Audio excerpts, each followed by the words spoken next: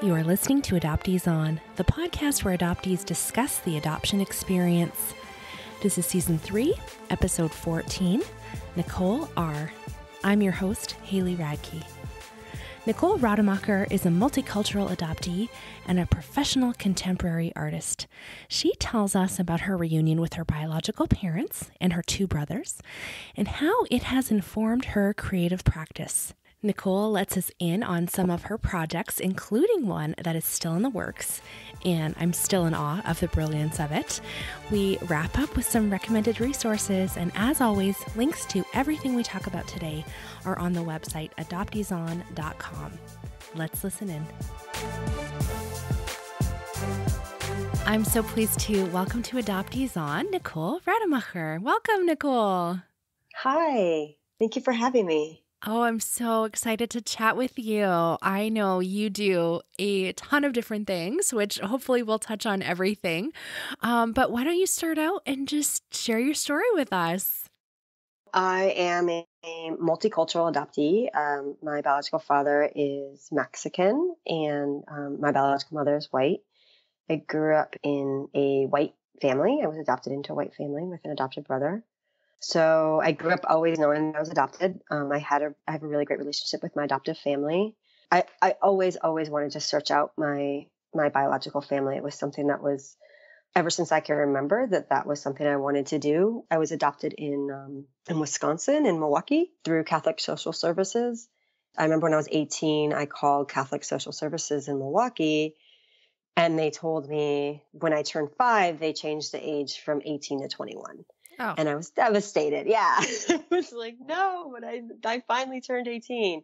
And my adoptive parents super supportive. When I turned 21, I was kind of in a different, you know, 21 year old state. But uh, just before before I turned 26, uh, at the with the encouragement of a friend of mine, I contacted the Catholic Social Services again and filled out the paperwork. And I happened to be finishing my undergraduate degree. And so I actually got to do it for free, which was pretty exciting.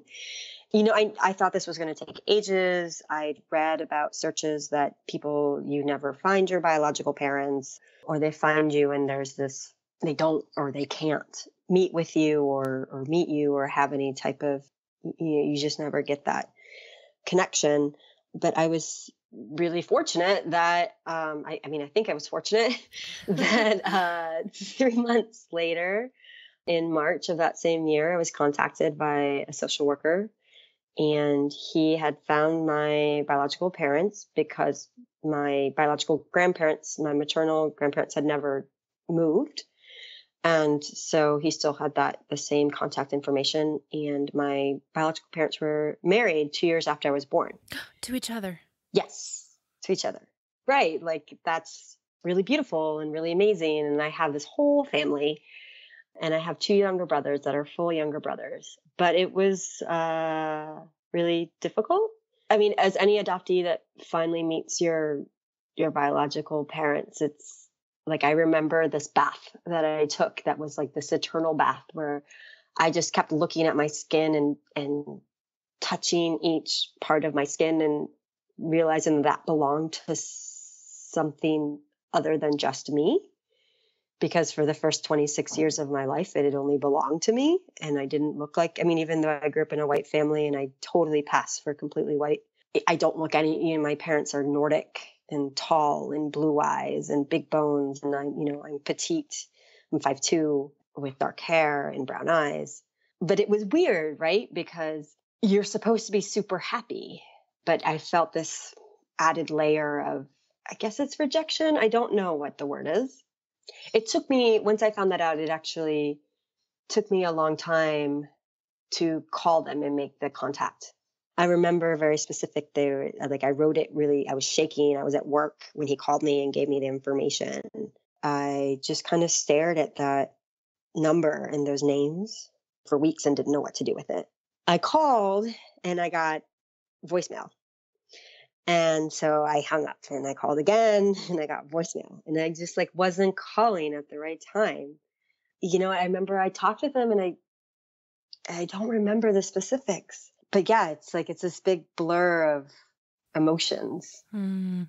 Can you talk a little bit more, Nicole, about knowing that your parents stayed together and had more kids? And like, what does that feel like? It's kind of cool in one sense because I never, my adopted brother and I, like, there was so much that we could have done to bond as adoptees, but we never did that. They were just really different people.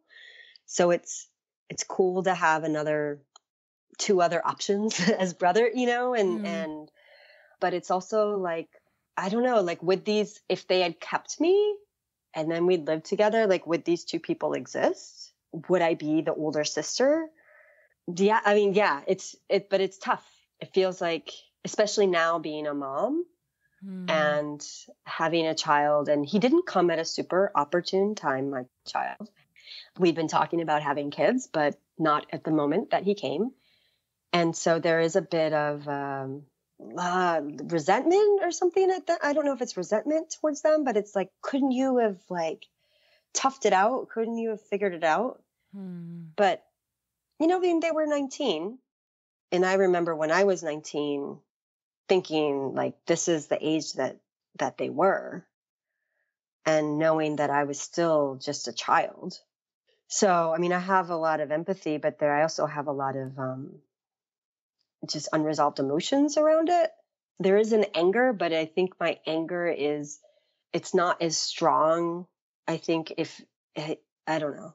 It's not it's not as strong as maybe it was before, but like before it was like masked by all these other things because I thought I was supposed to be super happy because I was 26 when I met them and really unsure of who I was.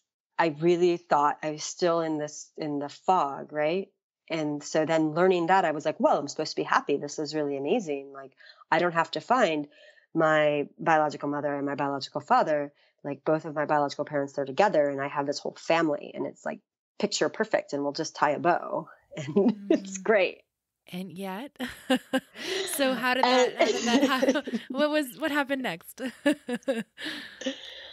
and and so I, being 26 and, and thinking it was this picture perfect bow, like they sent me they sent me pictures of them and that was profound. Just seeing my own physical attributes mirrored in in ancestors and in people. Um, within or maybe like a month later i went down and met them all. And being the ideological person that i am i stayed with them um, for I think a week and a half. And wow. yeah, I know. I didn't know what I was doing. I would never do that now. And I and I was like, oh well, I have a family, so I'm going to be in this family, right? My youngest brother was 16 at the time, and um, so he was in the house. It, it, no one knew what to do. You know, like now looking back at it, it's been 13 years. I didn't know what to do I think my, my brother who was 16 was the only person who know what knew what to do because he like totally was oblivious to all these emotions that were going on. but no one else really knew what to do. I, you know, like how do you treat this person that's your that's your child that's not your child that you haven't known that you didn't you know you didn't raise. And so even though they look like I I really do look like both of them, and I act like them too, which is, you know, that profound thing about genetics. Yet they didn't know me and I didn't know them. And so here we are as adults trying to get to know one another. And I didn't see it then. And uh, like the following year, yeah, the following year, I was living in Europe and they came to visit and we went on this month long trip together. and that was when the shit kind of hit the fan. There was one point where I did something emotionally or like I talked to my youngest brother in a certain way and there was a lot of tension and I had no idea I had done this. And my biological mom said something to me like oh you really hurt Luis and I was like well Luis needs to tell me that. Mm. you know? And it, it, it it was like really in your face like who are you? What are you? You're not my mom he's my brother because he's my brother and he'll always be my brother, but I don't know him. And I think we still go through these things. Um, I talk with him often.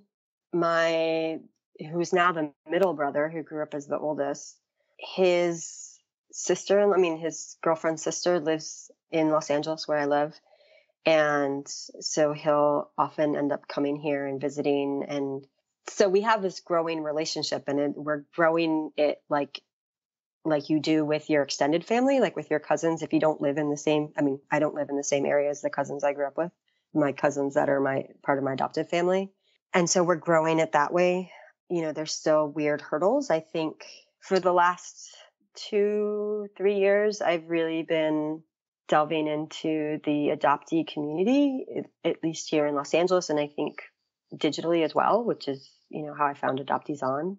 It's really helped me to understand who I am and how all these pieces fit in together. I and I think that how my relationship is, is with my biological family, I think it helps that too.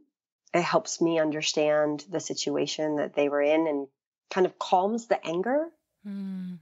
because I can logically think about it and understand that but still allow me to feel those emotions, if that makes sense. Mm-hmm. Yeah, definitely. I mean, I have talked to so many adoptees, more than I would expect, that have been in your situation, who have searched and then found their bio parents are married and have more kids, full siblings. And it's just like it sounds unusual, but it's it actually happens quite a bit. And so I just think that's so much to process, which is why I asked you kind of how you felt about it to give some language to people about that. I don't know. It's for me, you know, when I found my parents were um, teenagers and so there's this sense of understanding of why they couldn't parent and yet still there's a lot of feelings like, well, why didn't their parents help them? And, you know, so it's mm-hmm. just like the mixed bag. I feel like we're always like walking that line, right? yeah. And I think, you know, as an adoptee, you always feel like you're, you're this singular being, you're this island out there.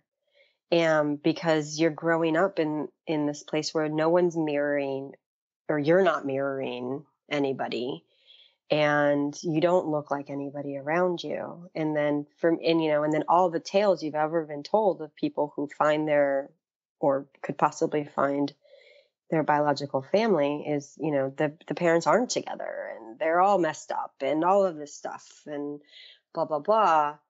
And then I find out that, oh, my parents are together and actually they're in a higher tax bracket than my adoptive parents. and, you know, it's like, it's really fantastic. Ah. And, you know, and then you, and you feel like, oh, I must be this anomaly. I'm finding that I'm not an anomaly. There's lots of us out there. And then I know that you've talked to so many adoptees. You know, we, we do exist and there's, there's a lot around that. And, and I actually, um, I mean, we'll talk about this in, in a little bit, but that's one of the things that I'm, I'm processing in, in my creative practice is this idea of what could have been that never was. Hmm. You know, and I, it's not even trying to decide whether one thing was better because that's, you know, that's a, don't talk about that. Like, I don't want to think about that. But to sit in a space that never existed and just, and just kind of let it be and feel your feelings with that and just give yourself the space to do that or I'm giving myself the space to do that. It's so wild to think about back to when we were born and just that that life ended there and there's a different life that we're living. I love that giving yourself an opportunity to process that and so many of us just we either go there and we really fantasize about it or we just totally block it out. like Yeah. Oh, yeah. I mean, and it's all good. Uh, like I found myself, you know, because that family exists, like really kind of daydreaming about it. And I'm like, I don't think this is really healthy for me. I don't think that this is really helping me. So, you know, trying to figure out a space where I'm allowed to do that but I'm not carrying it too far where maybe it's wasted energy, you know, where I really need to concentrate on what's here, but I don't want to shame myself into not being allowed to think about that. That's pretty good. That's pretty okay. good. I was just like, oh my gosh. So you hinted at it. Nicole, what do you do? I am a professional contemporary artist. The point of departure in my work is my adoption and my reunion with my biological family. So I look at nonverbal communication between people as a starting point and really kind of look at gesture, space, and object as cultural facts of that, and kind of look at identity construction, ideas of belonging, intimacy, alienation. I've been really delving into ethnography and psychology as a way to so it's not just about me and my experience so i'm i'm starting to understand it in context and how it might how it's shaped by the world around us and how what my experiences might also relate to other people and um, other people who are non-adoptees as well. And what are some of the types of projects that you would work on? So i have a, a couple projects that are kind of half debate that I'm working on right now that I, I just kind of want to talk about one of them because it's the one that I hinted at. And then the other projects I'm working on are really community based. So the project I'm working on that it, it's called Invisible, or I don't know, its working title is Invisible Images. It's taking photographs of my biological family, of them as a family, and then figuring out how old my younger brothers are and then finding a picture of like doing the math. It's not, it's not very hard.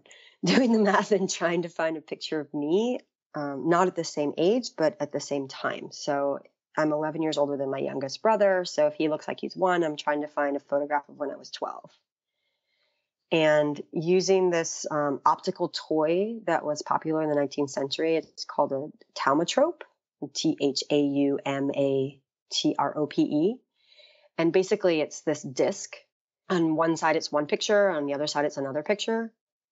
And so using the um, the theory of persistence of vision where it, it basically you you oscillate it back and forth and it appears in your mind that the images are together even though they're separate. And it's dealing with this idea that they'll never be together like this reality never happened but what if it did happen? And then it would be and so it's, it's, only happening in my mind right? And it's only happening in the mind of whoever's looking at this thaumatrope and so the strings there's strings tied to each side and they're twirled really quickly between the fingers so that these two pictures blend together. Does that make sense? Yes and i'm just like having like my jaw open like i'm having this moment. Wow that's incredible. And eh, and I actually need help to do this because it's so emotional for me. And and a good friend of mine is is helping me. She's actually tracing the images, so I'm finding the images, and then I kind of stare at them for a while, and I look at them in Photoshop together, and kind of freak out. And it's a little bit too emotional for me to draw the images, and so she's actually drawing the images for me. What I'm picturing is uh, sometimes when I go to my bio family's house, and every once in a while, you know, they'll bring out some pictures, and just looking at old family photos is so difficult for me. Like, I love it. I want to take it all in and I want to absorb it all. And yet, I'm always like, I'm not in any of these pictures. It's right? very triggering. And I have literally pictured what was I doing at this exact time. And so that's why I'm just like, that's amazing. I love that you thought of that. so I mean, my my my bio mom, when we met, she gave me a scrap. She'd put together. She's so lovely, and she had put together the scrapbook of them for me of her and my biological father before I was born. So, like them when she went to visit them in Mexico, and my aunts and uncles, both in Mexico and in Milwaukee, and all my cousins and my younger brothers, and you know, just this the scrapbook. And so that's where those pictures are coming from. And otherwise, I don't, I wouldn't know how to ask her for them. you know and i asked my mom my adoptive mother i asked her to send me a bunch of pictures and she just went through stuff and just started sending me things and she has no idea what i'm using them for and it, actually i'm like i usually post stuff on instagram or whatever just to like process based but i can't i can't bring myself to do it because they all follow me on instagram and i don't i feel like i'm not doing anybody right by doing it but i know i need to do it so i don't know my maternal, my biological maternal grandfather died recently, and I was so touched by actually being included in his obituary. Right? Mm-hmm. I was like, yeah, oh, I do belong. I'm actually here. I'm I'm in this world. Yeah. So yeah, so I don't so like I said it's half baked. I don't actually know where it's going. I don't know if I use the objects. Right now the objects are just experiments. Oftentimes doing visual work I usually work in video, so I don't know if they become videos of that and then the object is next to it. I'm not sure where that's going. Outside of that piece, I have a couple different community based projects that I'm working on. Um, one, I'm kind of in a pause at because um, recently in the fall, I did a bunch of um, workshops around it, and it's called Origin Stories. So it's a community based artistic project. It began as just an artistic project where I was exploring these imagined histories that I had as a as a child. Everyone imagines that you're something else when you're a kid, but as we all know as adoptees, it just there's more staying power to the stuff you imagine as an adoptee, especially in a closed adoption because you could be anyone or anything. And I had always latched on to this idea. My I knew my biological father was Mexican, but I grew up in North Carolina and with a white family. And so I had no context for what Mexican meant. I had no um, idea of what Mexican culture was, except for what I'd learned in social studies class. And I grew up in the 80s. So I knew that there were Aztecs in Mexico. And um, I grew up in the 80s with Disney and Disney princesses. So I, you know, I fashioned myself to be this long lost Aztec princess. Hmm. And right. and at the same time, I I did not have a studio at the time. So I had some space in my house that I was working in, but I didn't really have a lot of time to myself. Um, I have a son and he was one and a half. So anybody who has kids know that you, you really, you know, you don't have a lot of time for yourself. But the one thing I did have is um, my commute.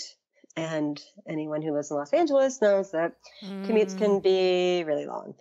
I had all this time in the car to talk to myself, and I began to elaborate on the story and kind of just expand and explore what it what it was or what it could be.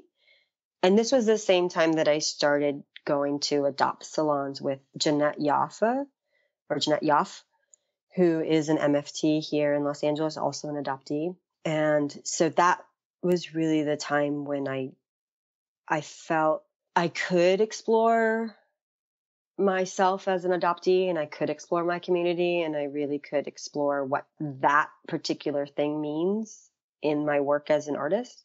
So I just started creating the story and I I'm like, okay, I'm this long lost Aztec princess or indigenous princess or whatever. I'll make up the story for how this how this girl came to be. I researched fairy tales and I researched oral histories. And so I was like, well, I'll do this in the oral history tradition. And so I never wrote it down. Every day I would just, or almost every day, I would just continue to tell the story and get further and further and further. In the end, I realized that it really wasn't about my story. It was about the fact that I could imagine the story and and then how can I as an artist and also somebody who um, works with the community, how can I kind of inspire or how can I help be a witness to other people figuring out what their story is or imagining their story. And so that's really how the workshop evolved. So that's so it's called Origin Stories and it's been going on, I guess, for a couple years. Originally, it was designed to empower adopted and foster people to record their unique histories. It's a two hour, it's about two hour workshop and the the attendees, the participants work in groups to create a story using visual prompts. People will come to the workshop. I'll tell my story as an adoptee and give a background of the project. So I, you know, tell them the same thing as far as imagining myself as this long lost Aztec princess. And, and then we talk a little bit about storytelling and what goes into storytelling. And in the beginning, we're using these tarot cards as visual prompts so that people, you know, people who aren't usually creative always get really shy about it, even though everybody has this creativity. And so I wanted people to be relaxed about it, that they didn't have to invent everything, that they could, you know, rely on different things. But as I started to work with my community um, of adoptees and foster youth, I realized that the tarot cards I was using really, um, even though I hand chose them from different decks, really didn't speak to who they imagined themselves to be or who they wanted to be in the future. I began to expand it to the general public, to artists, to people who felt marginalized, because I think that's who we are as adoptees. We feel marginalized. Our story isn't told. Our narrative is like this same narrative that none of us really feel connected to about being saved or lucky or you know whatever whatever it may be and so on top like after the storytelling part there's this card making part. They make these three by five cards that is something about themselves or something that resonated with them about the stories that they that they tell in this group. And then those cards are scanned and put into a deck that then get recycled back into the workshop. You come in we we talk as a group. I tell my story we go into the storytelling part where you work in a group of three to five, create the story, you tell it back to the group.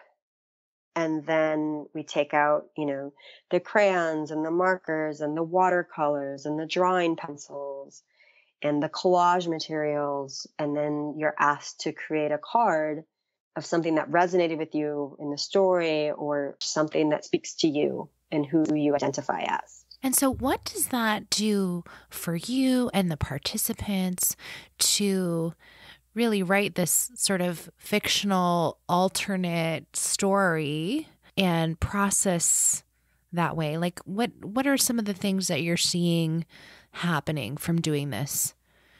Well, it's been really interesting because as I opened it up to the general public and to people who felt marginalized, I started to realize how many people feel marginalized and how isolated a lot of us feel, whether or not we're adoptees, and how we as adoptees can kind of connect with these other groups.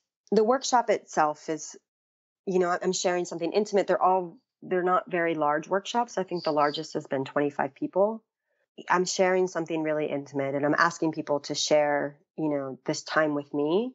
I also do these like breathing exercises beforehand to like ground everybody and really like the social emotional part of it so that there's this understanding that we're going to share this time together and it's not and it's going to be something personal and it's not just a workshop oh i'm going to come and learn how to collage something.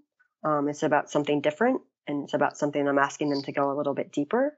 And i've been really surprised by what people what people have done and sometimes they don't some people want to talk about it and some people don't want to talk about it.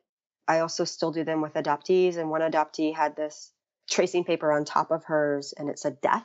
And then when she went to share it with the group, because it was in this adoptee group where we actually go back and talk about it, she took the tracing paper off and just showed the collage and the drawing underneath.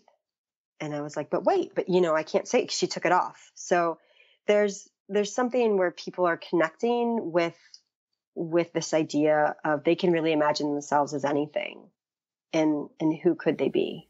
Processing our identity in so many different ways is so powerful.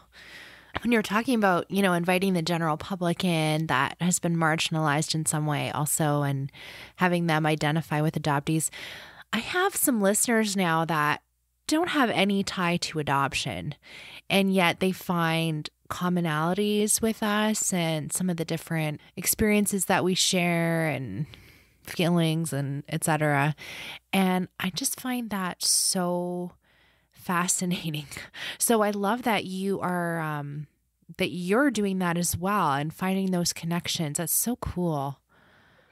Yeah, and and it's interesting because like I'll in passing talk with people about just being an adoptee and kind of not feeling like you belong or these ideas of identity and family. And people will things will resonate with them but then when you spend like 2 to 3 hours with them in and then you're seeing them produce something creative and you're you know I'm facilitating it so I'm not actually creating the stories with them but I'm listening to this story and to that story. And the stories were really kind of amazing because half of it was fiction and the, and or part of it was fiction and another part was like based on one person in the group like something that happened to them and then another person it's based on something that happened to a friend of theirs or a family member of theirs. And so it's all this like fact and fiction that's all mixed together and people can't help but bring that in. And then from like an activism standpoint in order for us as adoptees to really we, we have to find connections with other people out there and other communities that are bigger than ours that are fighting for their rights as well and fighting to be heard and for their you know for their voice and their narrative to be changed.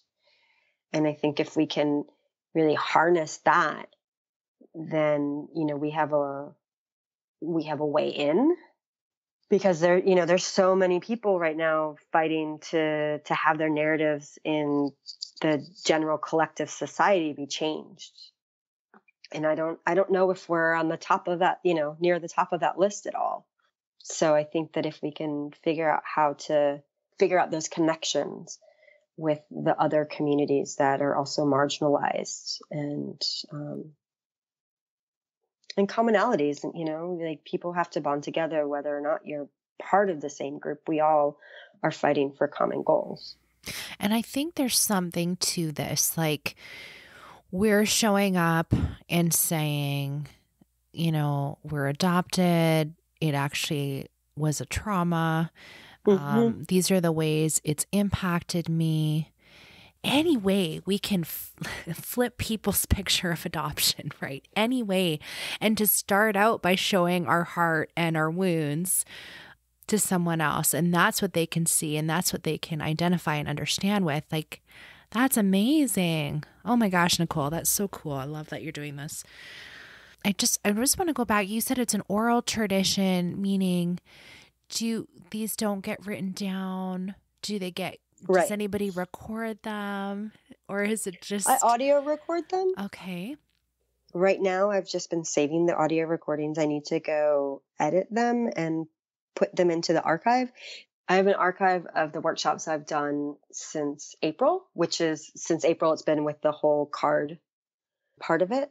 That's on my website and it includes some images of people in the workshop and then some of the cards that have been made in the workshops once I finish editing the audio, I'll start adding those to it. And those will just be the stories that people tell.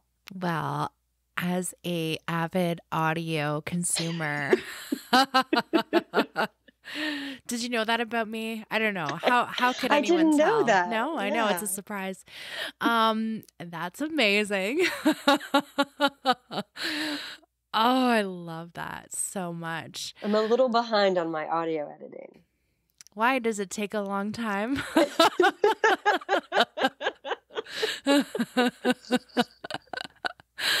Oh, so good. Okay, thank you so much for sharing about that. Let's go on to recommended resources. And I mean, for me, your website and all of these different things you've done um, is an amazing resource for people to check out.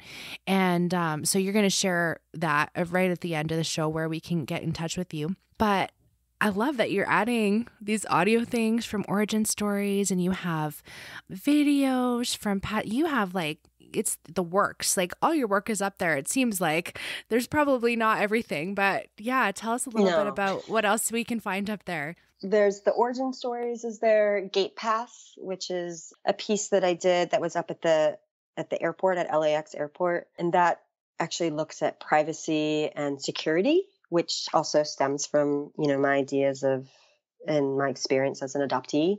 Potential Spaces, which is a project that I did thinking about hybrid cultures as you you know, being somebody who's in a multicultural relationship and then also growing up as a multicultural adoptee. You are a perpetual tourist, which was my um, my thesis piece for my Master of Fine Arts, and that's really looking at nonverbal communication between children and um, and adults in their lives, and this is all found subjects, and so really trying to, as a voyeur, as an observer, um, which I find I don't know if you find this as an adoptee, you're you're always you're always looking at how people are interacting and who people are and always wondering if that's somebody you're related to and you're just kind of like dissecting all these little parts about what's going on. Oh yes, like I feel like I am like a people watcher but like exponentially. yes. Yes so I, I took my people watching skills that I had been, um, you know, honing my entire life, and uh, with my video camera, and and looked at kids in in public spaces and how they related to one another. Is that there's a video of like it looks like a little family, and there's a little boy, and they're at the bus stop. And, yes. Oh my god, that's part of it. I just yes. watched that and I was like, "Oh my goodness, this is incredible." It's very short and it's you know, there's no words or anything. It was really moving. Oh, good. I, Thank you. Oh, yeah. So there's all these little gems on um, Nicole's website. So you should definitely go and look at it. It's just really, really amazing. You're doing su- such cool stuff. Cool. Thank you. You're welcome. I mean it. I mean it. You had sent me a link to the Celia Center Arts Festival. Can you talk a little bit about that and Brian Stanton actually, I interviewed him oh, and he said, "Oh yeah, Nicole um did this whole thing and this is what he was talking about." Yeah, yeah, yeah, exactly. So Jeanette Yoffe, um, she's a marriage and family therapist who's also an adoptee here in Los Angeles. She actually got me and Brian together. So I curated the visual art portion and then Brian programmed, I guess is the proper term you use. He programmed the performing arts part of it, but it was a it was a day long festival of adoptee work. So we had professional artists as well as, you know, adoptees or foster youth that are still teenagers that sent in work. And we exhibited at the Electric Lodge here in, in Venice. And it was really, it was really amazing because we had like over 200 people that came and we had workshops and we had the performances and we had spoken word poet and then we had all of the artwork up and we had like a couple videos that were going on around too like there was a documentary. Brian did his performance at the very end. It was like the show closer. It was just amazing. Oh blank blank is yes. so good so good oh it's so moving it's mm-hmm. just no words for that we also had a panel of some of the some of the professional artists that were involved in the show to talk about their experience. And that was um, really moving for me. And I just moderated it. But um, there was one artist, Michael uh, Giancristiano, who he's a sculptor here in Los Angeles. And he had found the call, I think through Facebook or something like that, and sent in this sculptural work. And, you know, I realized that he'd had a career, you know, he's like an actual professional artist and has studied and sells work and can you know works in a studio and so i invited him to be on the panel and he was fine with it but then like the day before when we were installing he was like well i don't know and so finally he decided to do it his portion like what he told about his story was just so moving about he doesn't get along at all with his um, adoptive family and was I, I mean i don't want to necessarily talk for him, but it was it was really amazing to have somebody who was so ambivalent about about doing this to then have something that really touched all of us. Mm. And so we're going to do it again. Um, we're just going to do we're going to do a very short visual portion of it in November of 2018 but it'll mainly be film and and performance and it'll be here in Los Angeles on the west side and I will be if you you know follow my my social media handles, I will definitely be tweeting and posting about it. So, um, but yeah, it's a, um, you know, it's it's a bit away. I couldn't believe it when you sent me those links and I was watching there's like a a video recap that is I mean, I think it's at least five minutes long and it's got all of these different snippets from that day. And I was just like, oh my gosh, I wish I had been there. That's like speaking my language. So, um, so cool. Yes, definitely going to watch out for that. And there was one other thing that you wanted uh, to recommend to us.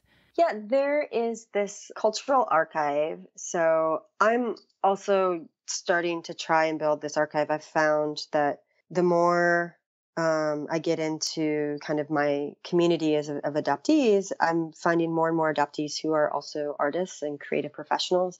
And I've stumbled upon this, um, it's called adopteeculturalarchives.wordpress.com. They are a Belgian, Korean Belgian adoptee, from what I can tell, and they have this list of activists and artists and filmmakers and writers and books and films and shows like all different kinds of things. It's all about adoption. It's it's mainly skewed towards transnational adoption but for those of us who are not transnational adoptions it's still just this amazing amazing amount of information and media and things for us to help us understand ourselves better i think and be a bit more aware so again, it's adopteeculturalarchives.wordpress.com. It's huge. Like there are yeah. so many links. It's a treasure trove for sure. Oh, thanks, Nicole. Thanks for bringing that to us. I have one more question before we wrap up. Is that okay? Yeah. You just you just said something and I wish I had asked you about it when we were talking before, so I'm just going to ask you now. What do you think it is that brings so many adoptees into working in the creative field? Working creatively, you're working in this language that's not English or Spanish or French or whatever this um, you know this language that has words, right? You're working in in something else, and maybe you're a writer, but you're still working with writing as a creative art, you know, or you're a comedian, but you're still working with these words in this creative realm, and so you're building a different language, whether it's visual or time or you're building a different vocabulary. And I think that what we've experienced and the trauma we've experienced is it's so profound that, and we're oftentimes not allowed to feel those feelings or to express ourselves with it. We have to make up our own language for it, right? So that we can, and maybe we don't even know what that stuff means, but we can feel it. And working in the creative realm really gives us permission to do that we don't necessarily have to articulate everything, but we can articulate it enough. I love that. Thank you. I'm putting you putting put you on spot there, but that was so. yeah, you did. I was like, oh man, I don't know. Why do we uh, do it? Let me think about it. Oh, oh, Nicole, this was so good. Thank you so much for chatting with me. Um, where can we connect with you online?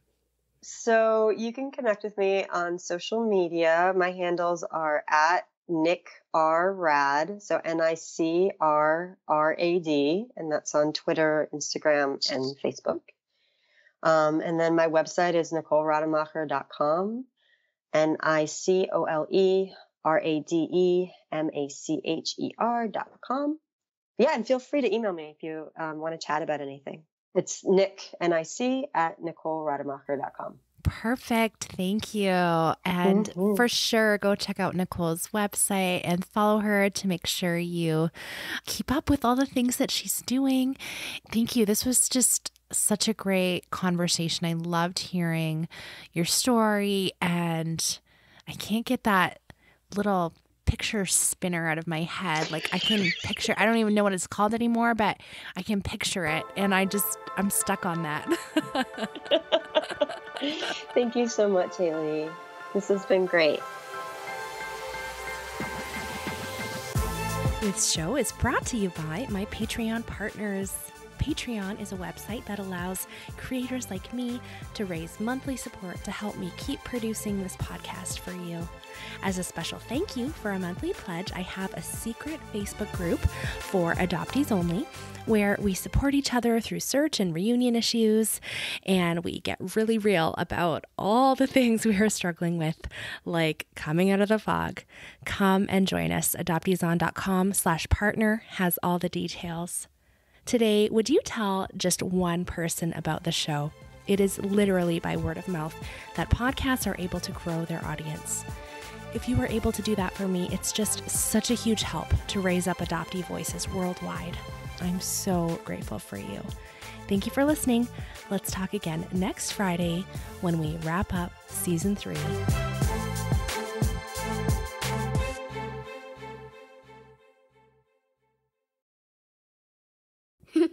okay, say it. No, you say it with me. Happy New Year's. Let's talk again next Friday.